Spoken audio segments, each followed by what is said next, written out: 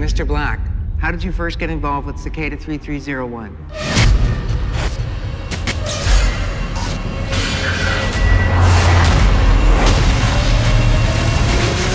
Actually, I should back it up a few.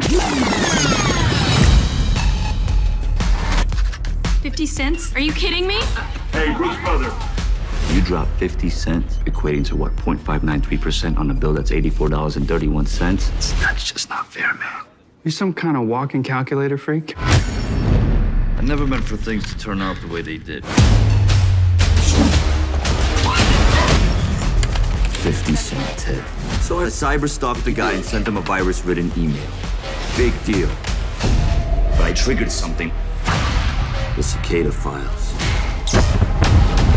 Okay, I've heard enough, Mr. Snuggles. Time to go. This house is no longer safe.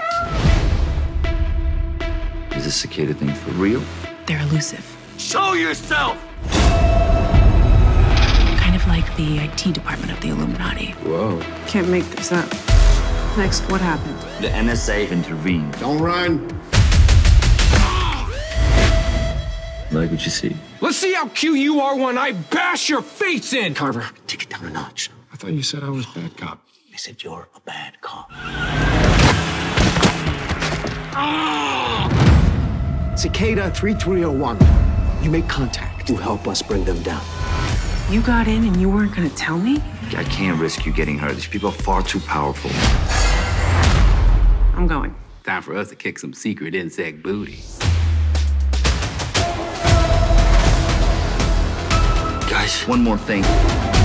Everyone who finished this game disappeared.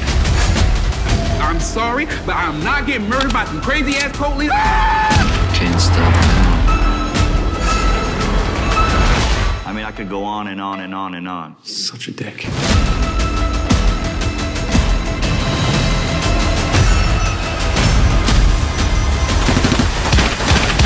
Unbelievable.